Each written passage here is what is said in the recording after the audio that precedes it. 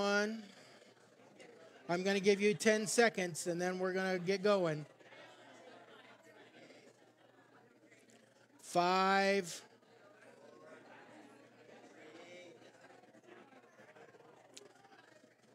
Good morning, everybody. Welcome to Roy Christian Church. We're glad you've chosen to come and worship with us this morning. My name is James Sayers. I'm the pastor here. Uh, if you are watching online, um, as I know some of you are, uh, we'd love to have your comments today.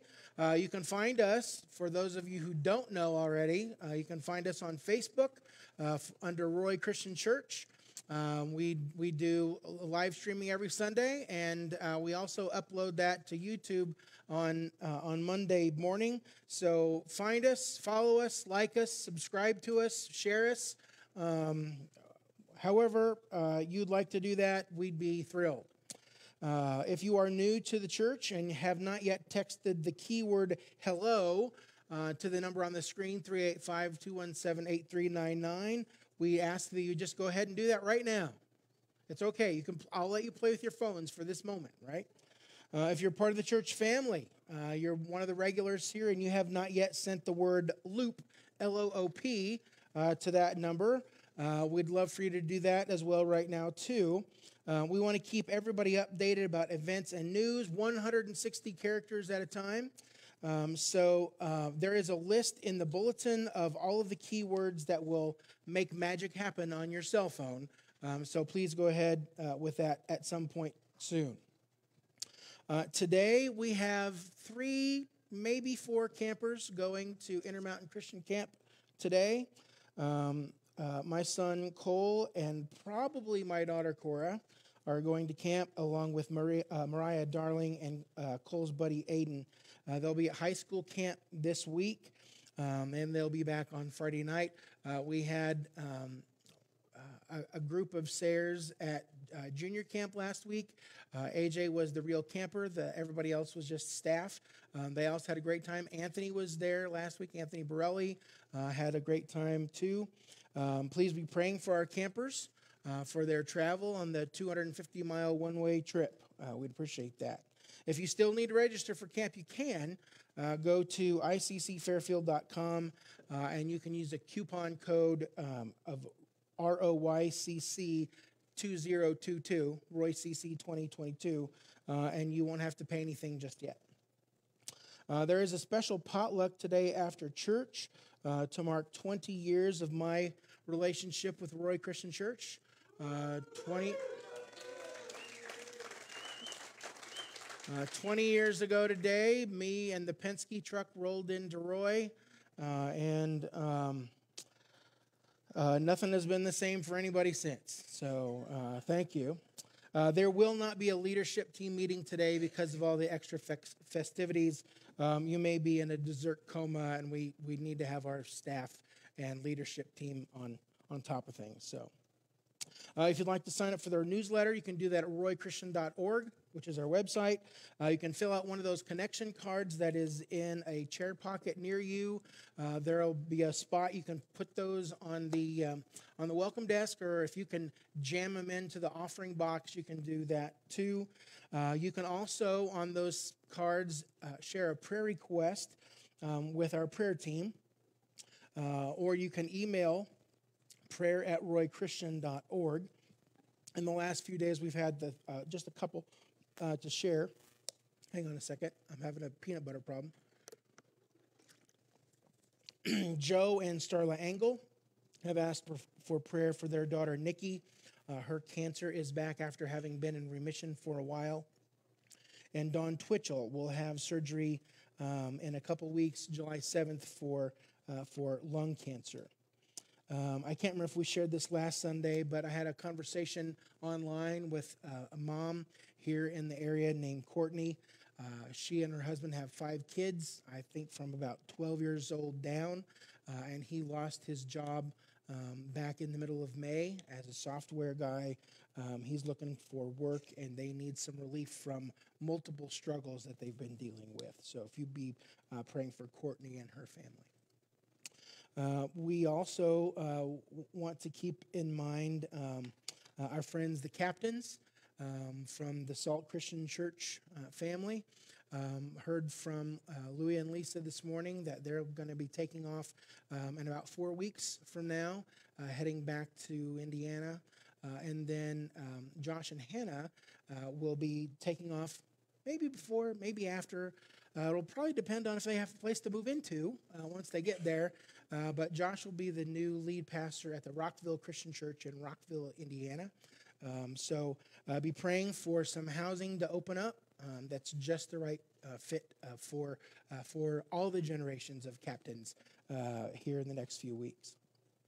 Let's take a minute to pray together, and then we'll, uh, we'll continue. Father in heaven, we are so very grateful for the fact that we can come to you um, anytime we want, any place that we are, with anything that happens to be on our mind or in our, uh, in our thoughts and, and um, in our hearts. Uh, we're grateful, Lord, that we don't need to be in a special place and use specific words to address you, that we just talk to you like we talk to a parent. Uh, we can talk to you like we talk to a friend. So, Lord, we, uh, we ask for these requests we've shared this morning that you would do just exactly the right thing at just the right time. Uh, we pray for these two families who are uh, who are struggling um, with uh, cancer issues, that you would be so very near to them, that they would feel your presence, um, that they would know the peace that passes understanding that can only come from you. Lord, we pray um, for um, successful treatment uh, and, um, uh, and for lots and lots and lots of remission. Uh, we pray, Father, for, um, for the captain families as they uh, anticipate their uh, move to Indiana, that you would grease the skids all the way there, um, that things would go smoothly and easily, that you would uh, provide um, the right uh, sort of home for them as they begin this new ministry there. Um, we're grateful for, um, for our friends from Salt Christian Church that are, are worship, uh, worshiping with us this, um, this summer. Um, we're so very glad to have them and all of our guests here with us this morning. Uh, we're, we're grateful for the grace that you have showered upon us. Uh, and we ask, Father, that we would be focused on your grace today. It's in the name of Jesus we pray. Amen. if you'd like to give a gift or an offering, uh, we are not collecting those um, during the service. There's a couple of boxes just outside the doors here uh, where you can uh, drop your offering envelope. Those are available uh, in the chair pockets uh, somewhere near you. If you would like to share that way, uh, we appreciate what you what you give. and we want to make sure that if you don't own a Bible, that you will take one um, from the chair rack near you. Just keep that. Uh, we, we want everybody to know what God's plan is for their lives, and that's the absolute best way uh, to, to figure out what that is. Uh, I, I will say, um, just kind of tucking my bulletin away, um, that there are several things in the bulletin and the newsletter this week that we're, we haven't discussed this morning. Um, Jen is off at the Hill Air, for, uh, Hill Air Show um, this morning again um, with a booth for the new preschool that we're launching uh, later this year. Um, I know um, there have been a lot of people who have supported that and have given toward it and have prayed about it. Uh, we, we hope that there would be many, many families from the community who would, uh, would see this opportunity to uh, get their, uh, their little bitty kids involved in um, some Bible based, um, Jesus focused uh, learning. Um, as well as several other things uh, in the, the bulletin. Uh, we hope that you'll pick one of those up today. uh, over the last month and a half, we have been talking a lot about families uh, and the, um, the foundations of a healthy family. Uh, we, we've seen that healthy families put God first, healthy families uh, pr- provide for each other, Healthy families have conversations about God, and healthy families serve each other. We're going to wrap up this series this morning um, by recognizing that healthy families aren't stingy with grace. Healthy families aren't stingy with grace. Uh, every person in a family, spouses, parents, children, uh, everybody involved in the family needs to model God's grace in those closest relationships. Um, this morning, the, uh, uh, the sermon text comes from Ephesians chapter 5, uh, in verse 22 on down through chapter 6, verse 4. Um, Ephesians 5 22 down through chapter 6, verse 4. Uh, let me read um, what Paul has to say there. Wives, submit to yourselves as uh, submit yourselves to your own husbands as you do to the Lord. For the husband is the head of the wife, as Christ is head of the church, his body, of which he is the Savior. Now, as the church submits to Christ, so also wives should submit to their husbands in everything. Husbands, love your wives just as Christ loved the church and gave himself up for her to make her holy, cleansing her by the washing with water through the word, and to present her to himself as a radiant church without stain or wrinkle or any other blemish, but holy and blameless. In this same way, husbands ought to love their wives as their own bodies. He who loves his wife loves himself. After all, no one ever hated their own body, but they feed and care for their body, just as Christ does the church, for we are members of his body. For this reason, a man will leave his father and mother and be united to his wife, and the two will become one flesh. This is a profound mystery.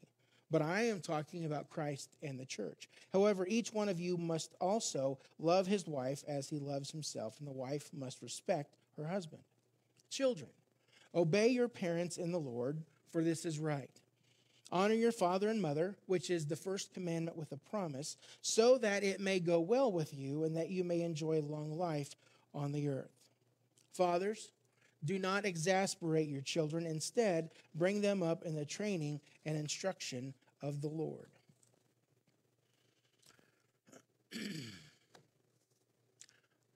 that text doesn't play in our society that it did 20 centuries ago. Uh, I, I know um, that as soon as some of those first words come out of my mouth, I can see female hackles going up and female arms crossing.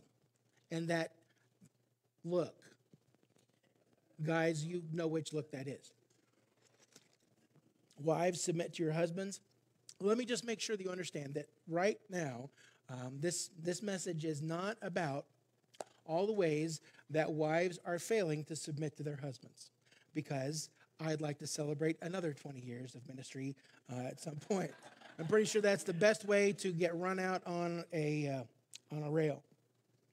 Um, what, what I'd like for us to focus on here um, is something that I hadn't really considered too much before, is that um, in, in these verses, we really see um, more of a drive for the people in a home, the people in a family, to extend God's grace to everyone in the family. Now, it looks different for different members of the family wives and husbands, parents and children, but I really think that it really has to all go back to or come down to grace. Um, I, I, think uh, right at the beginning, we see an example of the best grace of God. Um, from, the, uh, from the outset, uh, the, the letter to the Ephesians really is about the fact that we are saved by grace, not through anything that we've done. It is by, uh, by God's grace that we are saved, um, period. We cannot earn it. We cannot buy it. We can't be good enough to get God's good favor.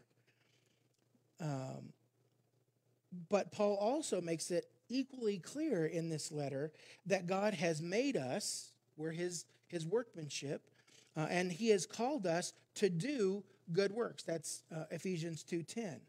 So in the last half of this letter, um, Paul gives some very specific um, exhortations about the kind of behavior that reflects our Christian faith. Uh, James talks about you uh, you have faith, I have deeds. You show me your faith without deeds, and I will show you my faith by what I do. Um, those two things, faith and action, have to be welded together for it to be authentic faith uh, in Jesus Christ. Um, we are to pattern our behavior after God Himself. If we say that we believe in Him, then that should be reflected in how we behave every day. In uh, Ephesians chapter 5, uh, verse 1. Um, follow God's example, therefore, as dearly loved children, and walk in the way of love, just as Christ loved us and gave himself up for us as a fragrant offering and sacrifice to God. What's the example? What Jesus did. Jesus, the only Son of God, seated at the right hand of the throne of God, gave all of it up to come down here to give us God's grace, to bring forgiveness to us, to make it possible for us to have a relationship with Him on this earth and in the life to follow. The imitation of God is a fundamental part of being a Christ follower.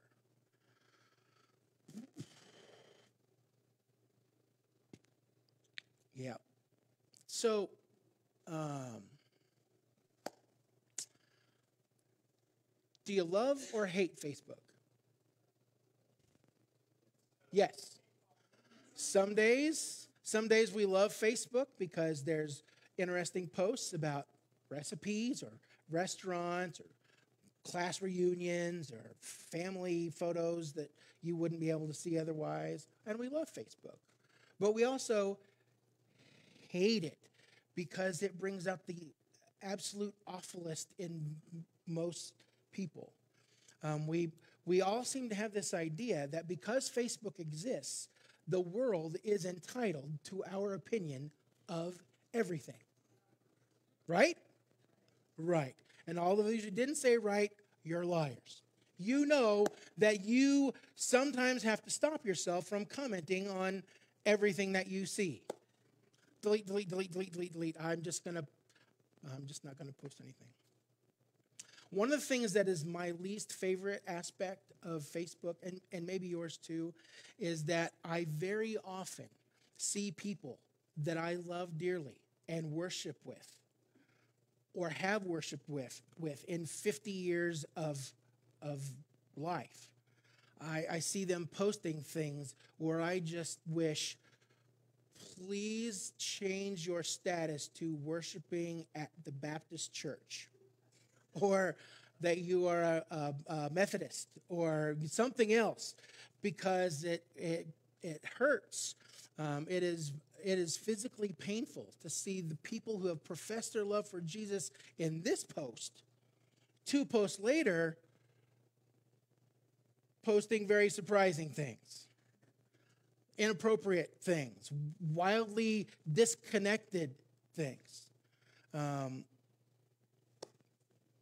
we want to make sure that we are imitating Jesus as we seek to follow him. Following him is what we do. Our question always ought to be is this something that Jesus would say? Is this something that Jesus would do? How would Jesus react to this post? Would Jesus post this thing that I think is a great idea or hilariously funny or whatever? The imitation of God, following in the footsteps of Jesus, is a fundamental part. It is the most basic part of being a Christ follower. We want to imitate Jesus' humility because God is revealed to us most clearly in the sacrifice that Jesus made for us himself. He laid down what was important to him for what was absolutely necessary for us. This is the clear example of forgiveness and love that we should follow. When we love others, we are a sacrifice that pleases God. That's what we read in Hebrews 13, 16. Jesus gives us an incredible example of God's grace to follow. We want to extend that. We want to follow in his footsteps. Something else that I think jumps out of this passage um, has to do, again, with exhortation. Paul gives us an exhortation to yield willingly to God's grace. Um, this whole thought in Ephesians 5 um, goes back to verse 21, where Paul writes about being filled with the Spirit. And then he describes ways that that Spirit filling is made evident and obvious. Speaking to one another with songs, hymns, and spiritual songs from the Spirit, singing and making music to the Lord, giving thanks to God for everything. And the last one is not quite so obvious because of a, a, a break in the text, but it, they're all connected together. The last one is being submissive. Being submissive is, is evidence that you are filled with God's Holy Spirit. Uh, uh, I believe it's um, uh, Brother Lloyd Jones um, that said that the only Christianity which is vibrant and exhilarating enough to penetrate and change society is that which manifests the power of the Spirit of God.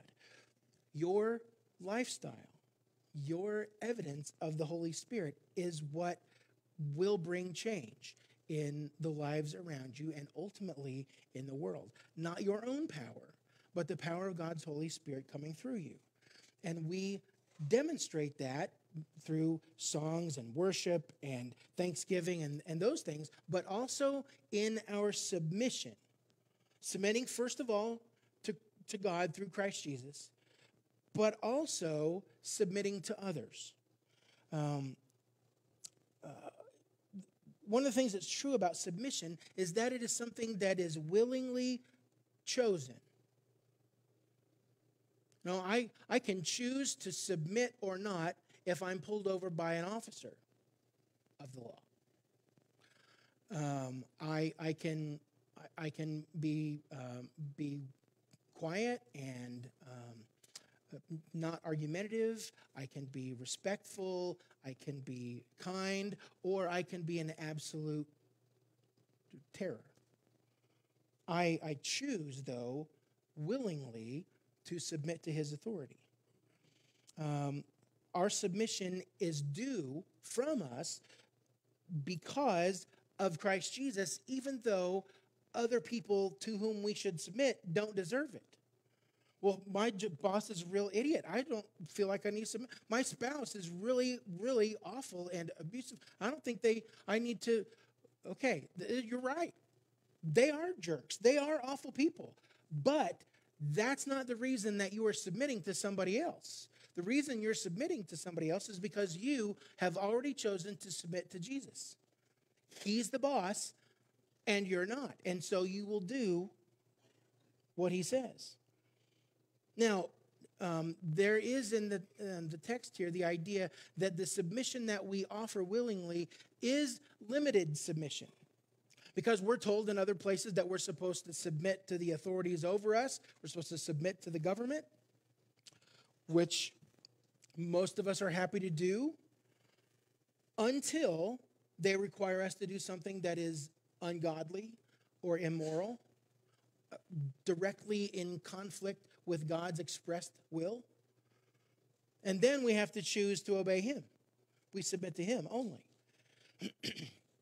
so here in, in this passage that deals with um, submission in a family relationship, that same limit is there. We, we submit all the way up until it is contrary to the will of God. The submission is not the same thing as obedience. Obedience is commanded at the end of our passage for children. Kids, you have to obey your parents. That's been in the rules since the Ten Commands. It's um, uh, Paul says it's the first command with a promise. It's actually the only command with a promise there in the Ten Commandments. Children, oh, uh, honor your father and mother, that it may go well with you in the land, that uh, you may prosper. Children need to obey. Wives don't need to obey. They willingly choose to yield to their husband's authority in the home. One of the results of the Spirit in our lives is that we submit to one another out of reverence for Christ. That's what Paul says here in verse 21. And, so we look to the needs of other people. Um, I, I, have to think about that passage in Philippians 2, um, that, that beautiful passage um, really the first half of chapter 2 of Philippians about how Christ um, emptied himself of everything, that he took on the very nature of a servant, um, going all the way to death on a cross, uh, and that we need to have the same attitude as that of Christ Jesus, who, being in very nature God, did not consider equality with God something to be held on to, but he emptied himself. If Jesus is willing to empty himself and to submit to the will of God for the needs of other people, then we need to do the same to submit to God by submitting to others. The, the first example that Paul gives in that passage is submission in marriage, where Paul is not banging the drum about who's wearing the pants in the family. This is not about who's in charge. You know, the text doesn't say fathers demand absolute fear and obedience from your children, from your spouse. This is about responsibility. Wives have responsibility in the home, which is different from the responsibility that fathers, husbands have, which is different from the responsibility that children have and parents. Paul gives some very um, culturally common advice to the people um, here. Uh, to, when he speaks to women, he says something that every other writer would have said to any woman of the time submit to your husbands. But he makes it different by saying you need to submit to your husband the way that you would submit to Christ. And, I, and, and that's really not much of a surprise. You know, he's saying something that anybody else would have heard, but he, um, he changes the, the reason for it. Not because it's what culture says, but it's because what our Savior, Jesus, tells us. And then he, he turns his sights on husbands. Husbands, love your wives just as Christ loved the church and gave himself up for her. That's not as culturally common because husbands got to pretty much do whatever they wanted. They were married so they could have legitimate children to carry on their family name and their estate and um, their whatever inheritance they may be. But there were they were also free to uh, visit temple prostitutes, um, to have other women on the side. That was not a big deal. Paul does not give that same freedom. Paul says, Husbands, you need to love your wives just as Christ loved the church and gave himself up for her. This is a radical idea. They are supposed to be making sacrifices for their wives. Now, not going to the temple and killing a bull and, and offering it up on fire, but laying down the things that were most important to them. To choose to put their wives' needs, their, their wives' happiness and desires ahead of their own. Three times um, in, in this text, Paul hits the, that drum hard. Husbands, love your wives. Husbands, love your wives. Husbands, love your wives. In his mind, submission and agape love, the kind of love that we have for one another, are synonymous. You, you cannot submit without that sort of sacrificial, unconditional love. And you, you cannot have unconditional love unless you are willing to submit to the needs and the desires of others. Now, I, I hope that you don't, don't believe that Paul is saying that wives should submit to their husbands in everything. That if he makes some outrageous request, you have to do it. That if he tells you to do something illegal or immoral, that you should do it. Again, the, the same standards apply. We, there is limited submission, limited only by what, um, what is consistent with God's will. Husbands, you have to love your wives. When you love your wife, it's not about what you're going to get out of it. The love that you show to your wife isn't based on appearance or worthiness the love that we share in our family, the love that we have for our wives, guys, is based on that person's well being, on nothing else. We love them, we sacrifice for them because what they need is so important to us. Their happiness, their desires take precedence over our own. Whether we are male or female, by the time we get down through the rest of that passage, um, when we are filled with God's Holy Spirit, we will love and respect and submit to each other. Wives and husbands, children, friends, church. Uh, I think in the uh, the passage as well that there's an expectation of gracious sacrifice. We've, we've talked about that.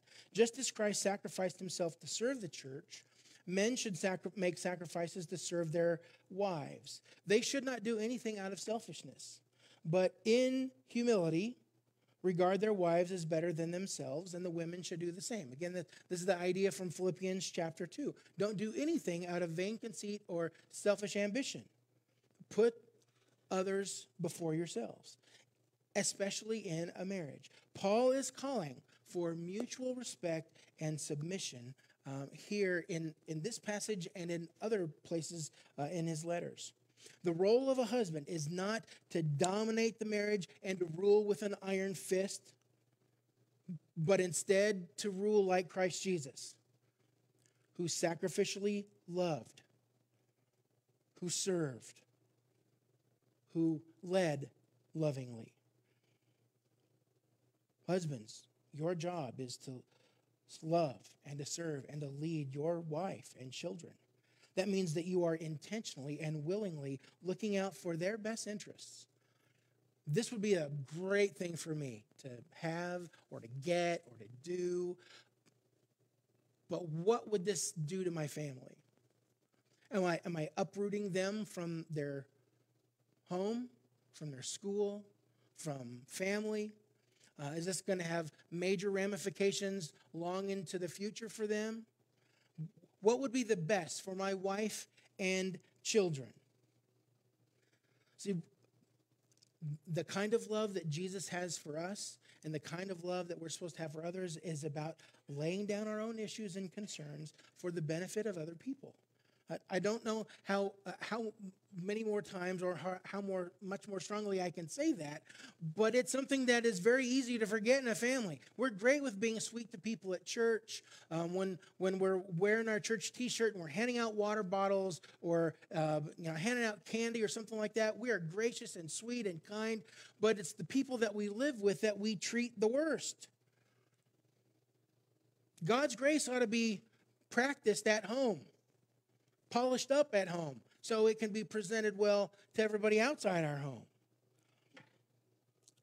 Man, you have one supreme duty to love your wife as yourself, Paul says.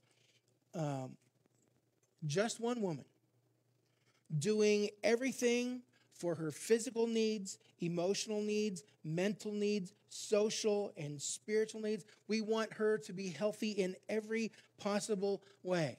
Men, your question should be what does my wife need? Followed quickly after with what does my family need? And then choosing to make sacrifices to make that happen. Because when we do all that, I, I, believe what Paul tells us is that we will experience transforming grace. Like I said, it's, it's very easy to make everything about ourselves, it's our time our conversations about topics that we want to discuss with the people that we want to talk to. It's all about our expectations.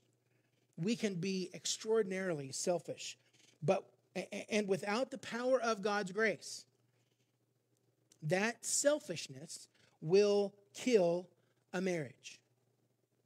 It will kill a family. We need instead to kill that selfishness with God's grace so that we can love our spouses and children in a way that honors God and changes us. Now, grace really is very opposed to selfishness.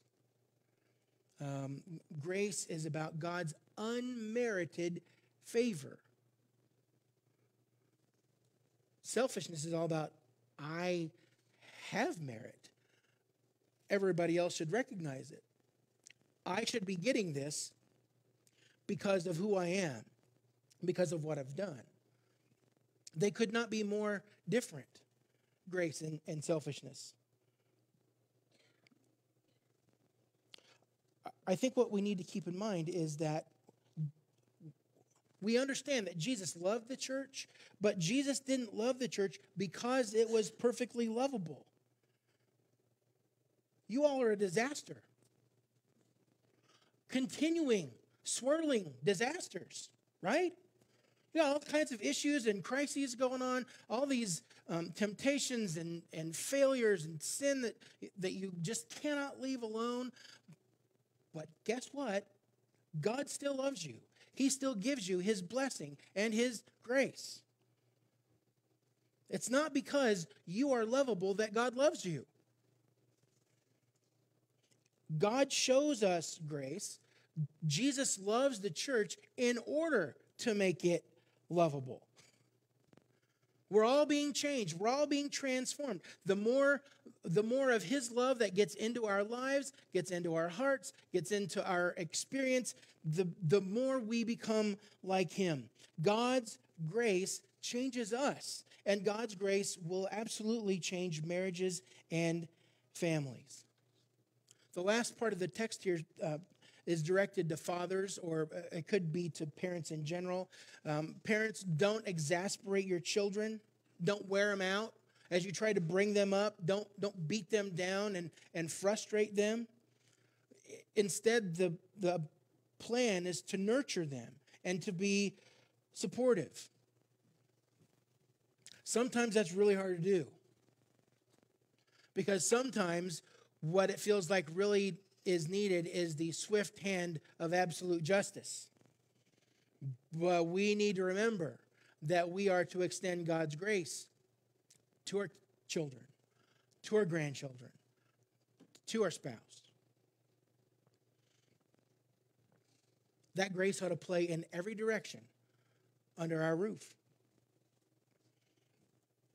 And when a husband and a wife, when their when their greatest desire is to better each other, when the wife's greatest desire is to support her husband's leadership spiritually in the home, when the husband's greatest desire is the, the happiness of his wife, her blessing, then there is a harmonious, beautiful, successful union struck there. If things are not great in your marriage, you both might need to try extending God's grace to each other. Because we have experienced God's grace, we are ready to share it with those who are closest to it. I, I, those are the people who make us the most crazy. They can be the most frustrating. They're the ones who m- make us the angriest, the quickest. But we need to make sure that as followers of Jesus, that those people are getting the first helping, the first big hand of grace from us, not those who get the leftovers and the scraps. Because we've experienced His grace, we must be ready to share that grace with our, with our families, with our spouse, with our children, with our parents. Let's pray. Lord, we ask that you would help us to realize what this is going to mean for us through the rest of the afternoon, through this week, the rest of the month, through the summer. Lord, what will it mean for us to extend your grace to the people with whom we share a home and family? Lord, we, we pray that the way that we treat others in our home would be an incredible testimony of the grace that we've received from you and the grace that is available to everybody else around us. Lord, we pray that um, the presence of your Holy Spirit in our lives would be demonstrated by the way we treat those we love the most. In the name of Jesus, our Savior, we pray. Amen.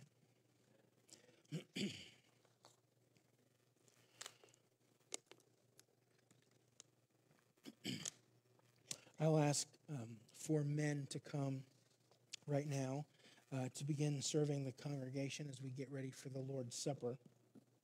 If you're watching from home, uh, you may uh, want to make sure that you have uh, those elements ready so you can partake with us here in just a few moments. Uh, as, as has been mentioned here um, already today, um, 20 years ago today, I came to Utah um, as a 52 year old man. Um, that means I've spent a, a, good deal of my adult life here, um, but, but not all of it. Um, in, in those 52 years, uh, I figured out that I've, I've been alive for something like 2,700 Sundays. Once I became a Christian at, at the age of 12, I began observing the Lord's Supper. Again, I, I did some math and figured out that that's more than 2,000 times I have partaken of communion. Some of those moments have been incredibly memorable, never, never forgotten. Um, some of those moments have been more routine. None of them have been without meaning. Each week we have moments um, that are an opportunity to reflect on the person that we have been, how we have walked with Jesus, what we have needed most from him, as well as our gratitude for his totally uncalled for but eternity changing salvation and grace. Let's make sure that we take some, some time this morning to, to reflect on those things, to remember how good he has been to us. Let's pray. Father, thank you so very much uh, for the incredible love that you have shown to us, for your willingness to forgive not just a day's worth of sin or a week's worth of sin, but an entire lifetime of absolute disobedient rebellion. Father, we're grateful um, that your love allows you to see us as we can be. And we pray, Lord, that um, through communion this morning, through our time together, um, through our study of your word and worship, that you would change us every single day to become more and more like your Son. Help us to say what he would say, to do what he would do. Thank you, Father, for your incredible sacrifice on our behalf. Through Christ we pray. Amen. In the Gospels, the account of the Last Supper shows us that Jesus took bread uh, during the meal, and when he had given thanks, he broke it and gave it to his disciples, saying, Take and eat, this is my body.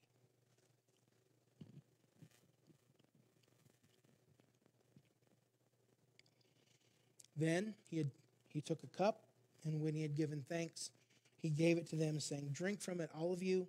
This is my blood of the covenant, which is poured out for many for the forgiveness of sins.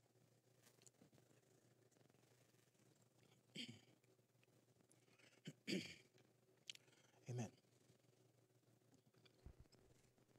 Uh, I'm glad we could be together today. Uh, thank you so much for being here. Um, I have been instructed to stop talking um, and to move over so somebody else can.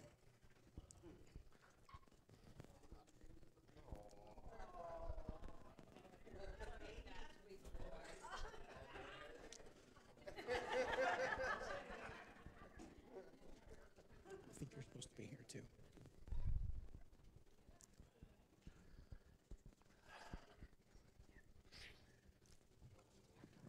I'm a little surprised this morning that James preached the sermon that he preached. And I'm sure that he was serious when he said he was going to be very careful because he wanted to enjoy another 20 years at Roy Christian Church. But if he was honest with you, he would probably have told you that what would be more important than 20 years at Roy Christian Church would be another 18 years married to Stacy.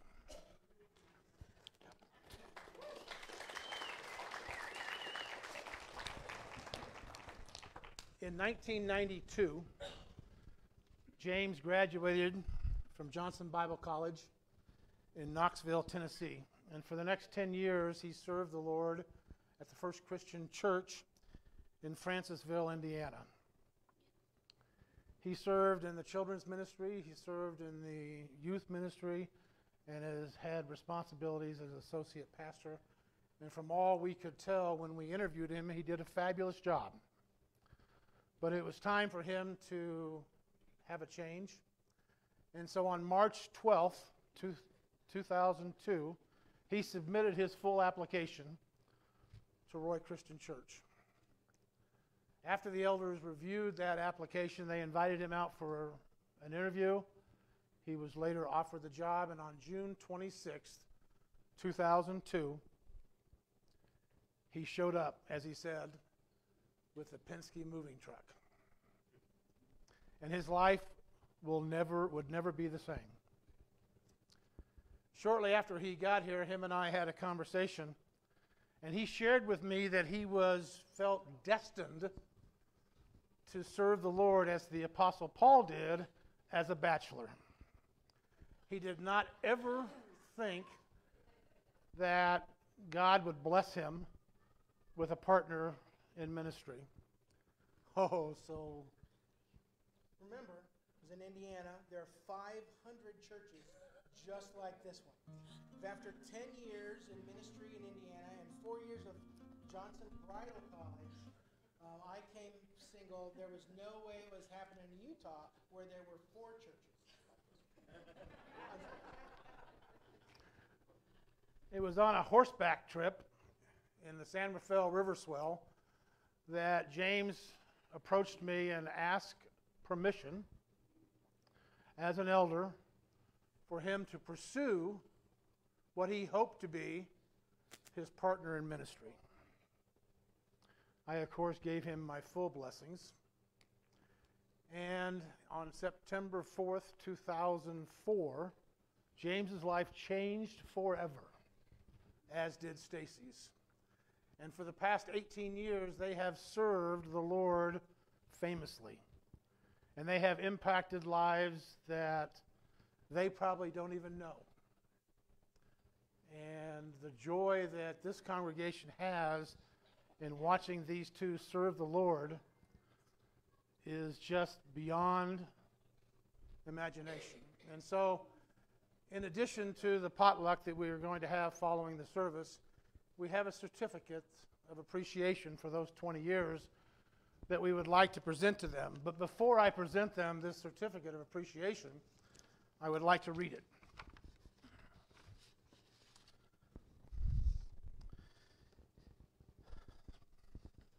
In appreciation of 20 years of service, the family, friends, and members of Roy Christian Church proudly present the following package to James and Stacy Sayers.